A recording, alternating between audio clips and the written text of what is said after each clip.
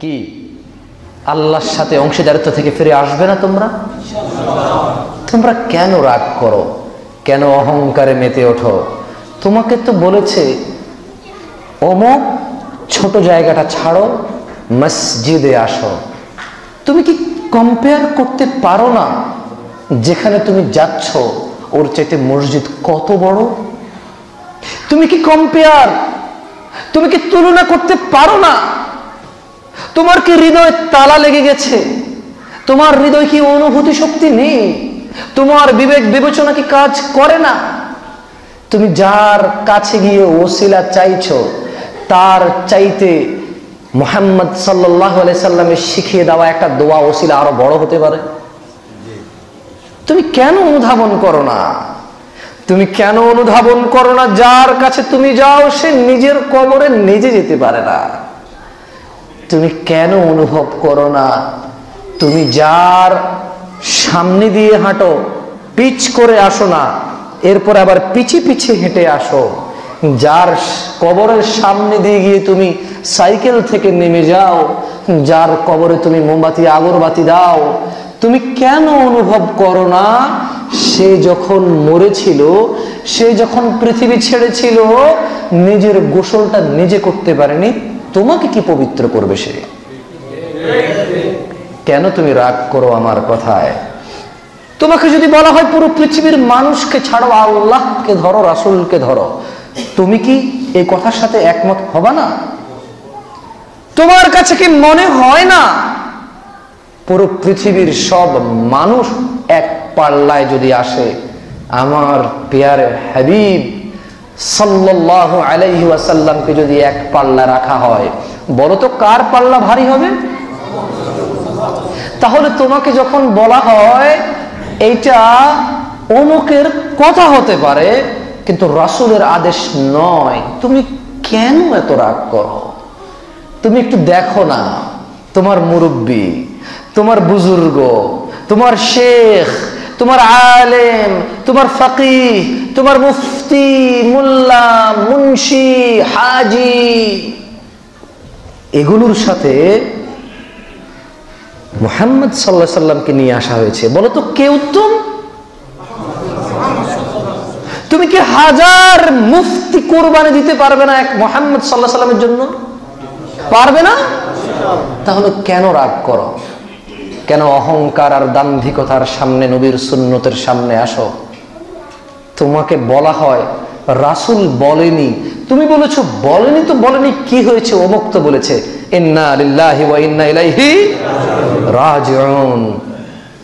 শোনো, আল্লাহর দিকে ফিরে আসো, আল্লাহর দিকে ফিরে আসা জরুরি। তোমাকে একটা কথা বলি। আল্লাহ সুবহানাহু ওয়া তাআলা বলছেন কোরআনুল কারীমে ইন্নাল্লাযীনা ক্বালু রাব্বুনাল্লাহ। না না না না না না না না। কোন খতিবকে উল্লেখ করে বলেনি। তবে ভুল বুঝেছ আয়াতকে। কোন মসজিদের ইমামকে উদ্দেশ্য করে বলেনি। কোন পঞ্চাশ হাজার টাকার বিনিময়ে আসা বক্তাকে উদ্দেশ্য করে বলেনি। কোন এক লক্ষ টাকা কন্ট্যাক্ট করে আসা ওয়াইজিনকে উদ্দেশ্য করে বলেনি, অথবা কোনো আল্লাহর রাস্তায় নিজের সময় বিলিয়ে দেওয়া, একেবারে মুখলিস, একনিষ্ঠ আল্লাহ প্রেমী মানুষের কেউ শুধু উদ্দেশ্য করে বলেনি, সবাইকে উদ্দেশ্য করে বলেছে মানে তুমি তুমি তুমি, আপনি আপনি আপনি। বলেছেন, ইন্নাল্লাযীনা ক্বালু। নিশ্চয়ই যারা বলে, বলো তো, তুমি কি যারার মধ্যে পড়ো না? আপনি কি যারার মধ্যে পড়েন না? আমি পড়ি শুধু। শুধু আমি পড়ি। ইমাম আবু হানিফা রাহিমাউল্লাহ পড়ে। ইমাম শাহি আহমেদ বিন হাম্বল, মালিক রাহিমাহুমুল্লাহ আজমাইন পড়ে। আবু বকর, উসমান, আলী, আবু বর হাসান, হুসেন, উসমান রাদিয়াল্লাহু তাআলা আনহুম আজমাইন। শুধু ওনারা পড়ে। নাকি রাম, চন্দ্র, কৃষ্ণ নাকি ডেভিড, হিন্দু, বৌদ্ধ, মুসলিম, খ্রিস্টান, যে যত নামে পরিচিত, পুরুষ, মহিলা, হিজড়া, যে যত ভাগে বিভক্ত, ছোট, বড় যুবক, যে যত ভাবে বিভক্ত, সবাই পড়ে নাকি শুধু একটা ক্যাটাগরি পড়ে বলো তো? তার মানে কথাটা মনোযোগ দিয়ে শুনবেন, কাজে আসবে। না না, নিজেকে এভাবে পার পাওয়া যাবে না। রাব্বুনাল্লাহ, নিশ্চয়ই যারা বলে, রব্বুনাল্লাহ আমাদের প্রতিপালক হচ্ছে আমাদের আল্লাহ। ফুম্মাস্তাকামু এটা বলে নড়ে চড়ে যায় না। এটা বলে সরে যায় না। এটা বলে পড়ে যায় না। ফুম্মাস্তাকামু এরপর অটল থাকে। প্রথমে স্বীকার করে, আমাকে যে পালে, আমাদেরকে যে পালে, সবকিছু যে পালে, সে হচ্ছে কে? সুম্মাস্তাকামু অথপর এই কথার উপরে অটল থাকে আল্লাহ বলছেন যে تتنزل عليهم الملائكة ألا تخافوا ولا تحزنوا وابشروا بالجنة التي كنتم توعدون আহ, আল্লাহ আল্লাহ আল্লাহু আকবার, আল্লাহু আকবার। অথপর যে অটল থাকে তাদের জন্য আল্লাহ ফেরেশতা নাজিল করে। আল্লাহ আকবার। যে বলে, আমাকে পালে আল্লাহ, আমার প্রতিপালক আল্লাহ। তারপর ওই কথার উপর অটল থাকে। যে যাই বলুক, মসজিদ ছাড়া আল্লাহর কোনো ঘর নেই, আল্লাহ ছাড়া পৃথিবীর কেউ নেই যার কাছে চাওয়া যায়। যে অটল থাকে, আল্লাহ বলছে যে আমি তার জন্য ফেরিস্তা নামাই। কে নামায়? কি নামায়? ও, আর্মি র্যাবের চাইতে দুর্বল মনে হয় না? বিশটা, ত্রিশটা বডি গার্ডের চাইতে মনে হয় ফেরেস্তা দুর্বল। এটা জিনিস হইল। মানে ফেরেস্তার নামবে এটা কি এমন স্পেশাল এটা জিনিস হইল, দুইটা পুলিশ যদি অফিসার গভর্নমেন্টে দিত আমাকে পাহারাদার হিসেবে, চারটা র্যাব যদি আমাকে প্রোটোকল দিয়ে রাখতো, কি লুক একটা গুড লুকিং আসতো, ঠিক না? ওয়ার শো আপ আচ্ছা আপনাকে মাইন্ড করেন, আমার হাত পা নড়াই। অনেকে বলে যে, এরকম করি কেন? এভাবেই বলি আমি। আচ্ছা যাই। তো কি নামবে কে নামাবে? আল্লাহ। আচ্ছা ফেরেশতা কেন নামাবে? ওয়াই আমি এটা দেখি। ফেরেশতা কি কেউ দেখে? কেউ কি ফেরেশতা দেখে? বাট মানুষ দুনিয়াতেই ফেরেশতা দেখে যাবে। মৃত্যুর আগে কি সে ফেরেশতা দেখবে না। যত দূর তার নজর যাবে, ভালো হলে দেখবে, আহ, কি সুন্দর, সুগন্ধময়ী দাঁড়িয়ে আছে যত দূর তার দৃষ্টি যায়। আর যদি খারাপ আত্মা হয়, কি বদবু, কি দুর্গন্ধ, কি মানে কি ভয়ঙ্কর চেহারার দেখবে। তার মানে পৃথিবী বিদায়ের ক্ষণে সেটা দেখে যাবে। ওই যে ওয়ানারাহু করিবা। কেয়ামতের ব্যাপারে যে মানুষ বলে যে কখন এটা হবে, আল্লাহ যে বলে, ওয়ানারাহু করিবা, ও মুহাম্মদ আলাইহি সাল্লাম এরা কিয়ামতকে দূরে মনে করে, ওয়ানারাহু করিবা, আমি দেখি একবারে কাছেই এটা চলে আসছে প্রায়। বুঝে আসছে না আসলে আচ্ছা ফেরেশতা কেন লাগবে বলেন তো? ও দেখি না, বলতে পারব না যে বাজার করে নিয়ে আসো। এই উমুকে আমার সাথে মারামারি করছে যা ওর উল্টাই দিয়ে চলে আসো। বলতে পারব ফেরেশতাকে? পুলিশকে বলা যায়। পুলিশকে বলা যায়, ভাই, অমুক কিন্তু আমার এটা কইছিল ভাই। খুব খারাপ লাগছে ব্যাপারটা। আমি ভালো মন্দ বলতে চাই না বাট এরকম বলা যায়, বিচার দেওয়া যায়। নেতা যদি থাকে একজন পরিচিত অথবা ক্ষমতাবান ডাক্তার, ইঞ্জিনিয়ার, সায়েন্টিস্ট, এলাকার একজন বিশিষ্ট ব্যক্তি আচ্ছা জায়গা করে দিন আপনারা, এটা কিন্তু সুন্নত। মানে সম্ভব হলে আর কি? আল্লাহ সবাইকে কবুল করুন। মাশাআল্লাহ, আল্লাহ ভিড়কে কবুল করুন। আল্লাহ এই ভিড়কে কবুল করুন। আল্লাহ, তুমি এই ভিড়কে কবুল করো। আল্লাহ, তুমি বক্তার বক্তব্য থেকে এদেরকে উপকৃত করো। আল্লাহ, বক্তার কথার মধ্যে ভুল থাকলে তুমি এদেরকে আশ্রয় দাও। আল্লাহ, তুমি বক্তার শ্রোতার মধ্যবর্তী যে দূরত্বতা রয়েছে তা দূর করে দাও। আল্লাহ, তুমি বক্তার হৃদয় আর শ্রোতার হৃদয়ের সাথে মিল করে দাও। আল্লাহ, তুমি সক্ষম তুমি পারো তুমি করো। ইলাহা ইল্লা তুমি ছাড়া কোনো ইলাহা নাই। আচ্ছা তাহলে আল্লাহ কি নামাবে? এই ফেরেশতা কেন নামাবে দেখেন? ফেরেশতা বলব যে আল্লাহ তাখাফু। না, কোনো ভয় নাই। কে বলবে? কোনো ভয় নাই। ওলা তাহজানু। কোনো চিন্তাও নাই। ওয়াবশিরু বিল জান্নাহ। ফেরেশতাকে বলে দেবে, এই সুসংবাদ নাও জান্নাতের। লা ইলাহা ওয়া আন্না মুহাম্মাদ আবদুহু ওয়া রাসূল তাহলে ফেরেশতা বাজার করার জন্য আসবে না। আমার পক্ষ হয়ে মারামারি করার জন্য আসবে না কারোর সাথে। ফেরেশতা এসে বলবে যে, আরে ভয় নেই, আরে চিন্তা নেই। শোনো, সুসংবাদ নাও জান্নাতের। কিসের? আল্লাতি কুনতুম তুআদুন যেটা সম্পর্কে আল্লাহ তোমাদেরকে ওয়াদা করেছে। তাহলে জান্নাত সম্পর্কে আল্লাহ কি করেছে? ওয়াদা করেছে। এই জান্নাত আল্লাহ দেবে কাকে? যে বলে, প্রতিপালক কে? তারপর কি? ভুলে যান আপনারা। আমার সাথে কিন্তু খুতবা শুনতে হলে মনোযোগী হতে হবে, নাহলে আমি শোনাবো না। বোঝেন তো, হুজুর তো হুজুরদের কাছে সব চাবি ঘাটে। কোরআন তেলাত করে খুতবা শেষ করে চলে যাব। মনোযোগী হবেন। খুতবায় কোরআন তেলাত করা যায় বুঝলেন না? খুতবায় সুরা কাহাত পড়েও খুতবা দেওয়া যায়। মানে খুতবায় সুরা কাহাত পড়ে খুতবা দেওয়া যায়?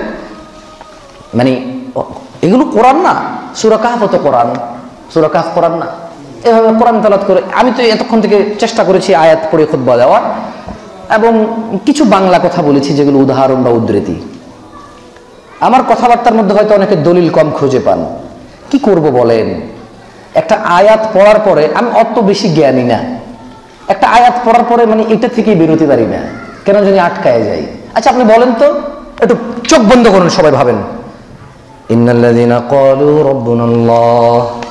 যারা বলবে, আমার প্রতিপালক আল্লাহ। অতঃপর অটল থাকবে।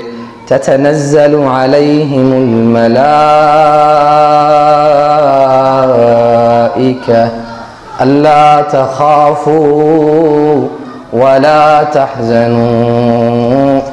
وابشروا بالجنة التي كنتم توعدون যারা বলে আমাদের রব আল্লাহ অথপর অবিচল থাকে তাদের কাছে নাজিল হয় ফেরেশতা এই বলে যে তোমরা ভীত হইও না চিন্তিত হইও না এবং তোমাদেরকে যে জান্নাতের প্রতিশ্রুতি দেওয়া হয়েছিল তার জন্য আনন্দিত হও চোখ বন্ধ করে একটু ভাবুন তো এটা কি বের হওয়া সম্ভব বের হওয়া যায় এই আয়াত থেকে কত তৃপ্তি লাগে ভাবলেই যে ব্যাস। আল্লাহ ছাড়া রিজিক দাতা নেই। আল্লাহ ছাড়া সুস্থতা দাতা নেই। এখানে কিছু ঝোলালে সুস্থ হয়ে যাবে ভুল কথা। আল্লাহ যদি কাউকে পাগল করে দেয়, আল্লাহ যদি কাউকে মাতাল করে দেয়, কোন মুসিবত দিয়ে ওকে পরীক্ষা করতে চায়, এই তাবিজ কি জিন ঠেকাবে? এই তাবিজ কি মুশকিল ঠেকাবে? এই তাবিজ তো বেয়াদবি কোরআনের সাথে। রাগ করিয়েন না আপনারা। বলবেন যে জামশুদ ভাই এতক্ষণ থেকে ঠান্ডা কথা বলছেন, খুব দারুণ লাগছে সেই। দেখেন, আমি কি তাবিজকে এখনও খারাপ বলেছি? আমি বলেছি বেয়াদবি। তা আমাকে বলতে দিলে আমি বলব, কোরআনুল করিম কি পড়ার জন্য এসেছে না ঝুলার জন্য এসেছে? কোরআনুল করিম পড়ে জীবন চলবে নাকি কোরআনুল করিম তাবিজে ঢুকে ঝুলবে? আচ্ছা কোরআনুল করিম এখানে রাখা আছে। উপরে রাখা আছে, এতে কি কোনো অসুবিধা আছে? তাহলে ঝুললে কি কোনো অসুবিধা ছিল? দেখেন, রাসুল সাল্লাহ সাল্লাম তো বলেছে মানতে আল্লাহ তামিমা ফাঁকাদে আশরাকা। যে তাবিজ ঝুলানো সে শিরিক করল, এটা না হয় বুঝলাম। ঠিক আছে, আপনার এটা খারাপ লাগে শুনতে। আপনার এটা কি লাগে? তো আমি এটাকে, এটা হাদিস, আমি তো অস্বীকার করতে পারি না। এটাই আমার আকিদা। এটাই আমার আকিদা যে কোরআন মানুষ পড়বে সে অনুযায়ী চলবে, আল্লাহ শিফা দেবে, আল্লাহ রক্ষা করবে, আল্লাহ জান্নাত দেবে। আচ্ছা তাহলে আপনি যেহেতু রাগ করেন, আপনি বলেন যে, খারাপ কি দিছে? কুফুরি কিছু তো লেখে নাই। সুরা রহমান লিখছে, সুরা ইয়াসিন লিখছে, খারাপ কি? তাহলে আমরা হাদিসটাকে তো আর অস্বীকার করতে পারি না, এটা তো হাদিস। তাহলে ঠিক আছে, আমরা এটাকে একটু এক সাইডে রাখলাম। কোথায় রাখলাম? তর্কের খাতিরে, কিসের খাতিরে?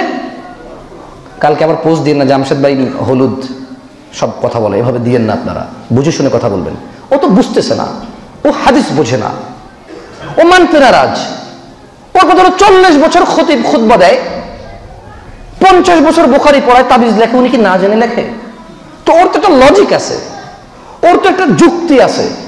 তো আমি বললাম, ও তো হাদিস বোঝে না। তো ওকে একটু বলি আচ্ছা শোনো, কোরআনুল কারিম কি অজু ছাড়া ধরা যায়? অজু ছাড়া কি ধরা যায়? ধরা যায় না, পড়া যায়, কিন্তু ধরা যায় না। আচ্ছা কোন মহিলার যদি মাসিক হয়, ওই মহিলা কি কোরআন ধরতে পারবে? কোন পুরুষ যদি টয়লেটে যায়, ও কি কোরআন ধরতে পারবে? কোরআন তাহলে টয়লেটে নিয়ে যাওয়া? অজু ছাড়া? মহিলার মাসিক হলে? বাচ্চা কাচ্চা হইলে? ধরা যায়? টেলিভিশন দেখতেছি। অশ্লীলতা, এসবে কোরআন ধরে রাখতে পারব বুকে হাতে? কোমরে? আচ্ছা। তো হুজুর তো ভালো মানুষ, কুফুরি লেখে না। কোরআন লেখে। কি লেখে? দেখেন, আমি কি তাবিজকে খারাপ বলছি? আমি তো বললাম যে আপনি যেহেতু বোঝেন না, ঠিক আছে, আমি তর্কে গেলাম না। হাদিস তো আপনি বোঝেন না। আচ্ছা আপনি হাদিস বোঝেন। এটা জাল হাদিস, এটা ওহাবি হাদিস। ঠিক আছে, তাহলে আমরা হাদিস নিয়ে আর কথাই বললাম না। যেহেতু আপনার কাজের না যেহেতু হাদিস এটা আপনার কাজের না, এটা আপনার কাজে আসে না, এটা আপনার মতো না, এটা আপনার মনের সাথে যায় না, এটা আপনার আপনার বুঝে আসে না, তাহলে এটা তো বাদ। এটা কি? এটা কি আর আছে তাহলে আমার জন্য স্টিল আছে, কিন্তু আপনার জন্য তো এটা নাই, যেহেতু এটা কাজে আসে না। আচ্ছা তাহলে একটা কথা বলি আপনাকে ভাই। কোরআনুল করিম কি ঋতুবতী মহিলার কোমরে ঝোলার জন্য এসেছে? হুজুর তো ভালো মানুষ। সুরা রহমান লিখে কোমরে দিয়ে দিয়েছে মহিলার। কেন? মহিলার বাচ্চা হবে, আসরে যাতে নষ্ট না করতে পারে। শয়তান যাতে নষ্ট না করতে পারে কোমরে দিয়ে দিছে, মহিলার বাচ্চা হবে। যেদিন মহিলার বাচ্চা হয়, সেদিন আগেরটা তো থাকে থাকে সুরা রহমান, নতুন আরও দুইটা আইনা দেয়। দেয় নাকি না দেয়? আমি কি খারাপ বলছি দেওয়া? উপকার পাইলে দিবেন, সমস্যা কোথায়? আচ্ছা একটা প্রশ্ন করি আপনাদেরকে। আল্লাহর এই কোরআন, আল্লাহর এই কথা পাহাড় নিতে চাই নাই। কে নিতে চাই নাই? পাহাড় নিতে চাই নাই। আপনি মানুষ, আমি মানুষ আমরা নিয়েছি। তিনি আমাদের জন্য এটা বৈধ করেছেন পড়ার যে কোনো সময়। কিন্তু ধরার জন্য পবিত্রতার একটা শর্ত দিয়েছিলেন। আপনি হুজুর যে ভালো মানুষ, হুজুর কীভাবে সুরা রহমানের মতো একটা সুরা ঋতুবতী মহিলার কোমরে দেয়? এটা সুরা রহমান না? মহিলার টয়লেটে যায় না? আপনি আপনার স্ত্রী সহবাস করেন না? তো সুরা রহমানটা কোথায় বলেন তো? সুরা রহমানটা কোথায়? বলেন। এটা শিরিক আপনি বুঝতেছেন না, এটা বেয়াদবি যেটা বুঝতেছেন? এটা কত বড় অন্যায়। মোহাম্মদ সাল্লাহ সাল্লামের চেহারা যদি কেউ ব্যঙ্গ করে, আপনারা রাস্তায় মিছিল করেন, মিটিং করেন। আমি কি বলেছি ভুল করেন বা আমি জানি না আসলে আপনারা কি করেন? প্রত্যেকের একটা লজিক আছে, কি আছে? লজিক আছে, কিন্তু আমি উগ্রতা করি না। যে জিনিসের ক্ষমতা নেই, ওই জিনিসে যাই না। যে জিনিস পারব না, ওটা দরকার আছে? যে জিনিসের ক্ষমতা নেই, দরকার আছে? দরকার নাই তো? আমি বলতে চাই, উনি তো এত বড় হুজুর। ওনার হৃদয় কি একবার কাঁপলো না? সুরা রহমানা সুরা ইয়াসিন একটা মানুষের এখানে লাগাই দিল, সে এক ওয়াক্ত নামাজ পড়ে না, টয়লেটে যায়, স্ত্রীর সাথে ঘুমায়। হুজুর কি হৃদয়টা কাঁপলো না? হৃদয়টা কি কাঁপা উচিত ছিল না? কই হুজুর তো হৃদয় কাঁপলো না। যাই হোক, তারপরও দিলে আপনাদের ব্যাপার। ওই যে আগেই বলেছি ওমা আলাই খেয়াল্লা ইয়াজ্জাক্কা যদি কেউ নসিহত পাওয়ার পরে না মানে নসিহত দাতার কোনো ক্ষতি নেই। নসিহত দাতার কোনো ক্ষতি নাই। আশা করি আপনারা বুঝতে পারবেন ব্যাপারটা। যাই হোক, আপনাদের এখানে খোদবা চলে কটা পর্যন্ত? আমি জানি না কিছু।